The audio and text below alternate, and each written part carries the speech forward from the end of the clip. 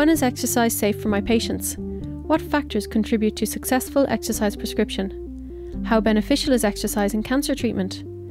Trinity College is now offering an online certificate in clinical exercise to answer these questions and more. Well, we know that chronic diseases such as diabetes, cardiovascular disease, and cancer are a major burden in society today. But we also know that exercise is a very effective treatment for these diseases.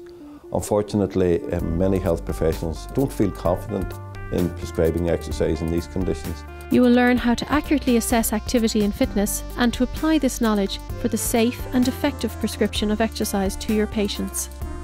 When it comes to exercise prescription, a one-size-fits-all model won't work. So there can be a lot of variables to take into account before arriving at an appropriate and effective exercise prescription. This course aims to address that and to give students the tools they need to effectively and safely prescribe exercise to patients who may have multi-pathologies. In this course we'll be describing the responses of the cardiovascular system and the respiratory system to exercise, both in healthy people and also in patient populations with various different conditions. How exactly do you, do you dose exercise for the best benefit in different populations? It will challenge you to question exercise as a treatment tool and to apply knowledge learned to your clinical practice.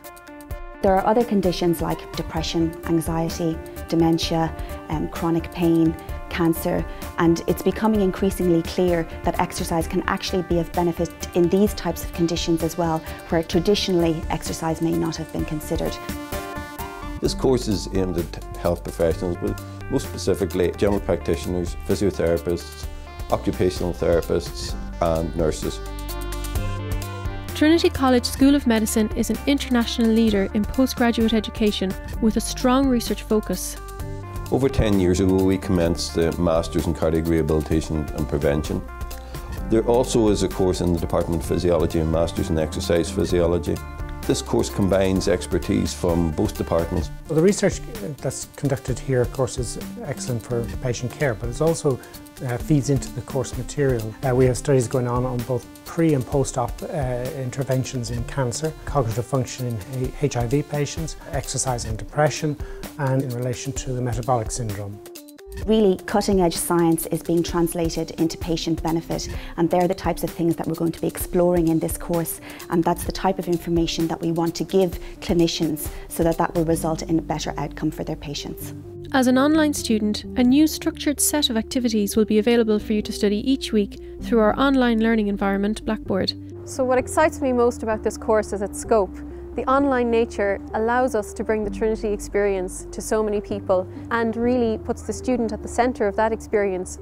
You will interact with your classmates through discussion forums and blogs and have live tutorials each week. Group discussion boards as well as case scenarios are going to help students to apply the theory learnt to their clinical populations. So it's really about putting the theory into practice. Drug therapy is no longer the cure-all gain the knowledge and skills to become confident at individually prescribing exercise. The online certificate in clinical exercise. Visit tcd.ie for more details.